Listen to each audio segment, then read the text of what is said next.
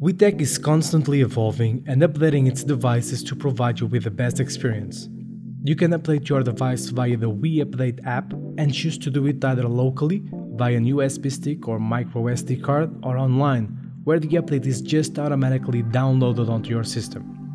If you're not connected to the internet or just wish to do a local update, just head to WeUpdate and select Local Update. Note that we strongly recommend updating your device via micro SD card instead of USB sticks. Select the micro SD card containing the update zip file and select it. Confirm and the update will start.